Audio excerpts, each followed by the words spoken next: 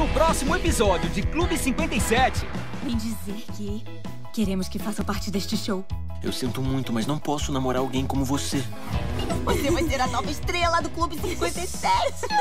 Se não são perigosos, acho que não vão fazer mudanças consideráveis na linha de espaço e tempo. Se for verdade que essa intrusa ficou com o meu show, eu vou arruiná-lo igual ela arruinou o meu. Clube 57. Amanhã, 7 da noite. Na Nick.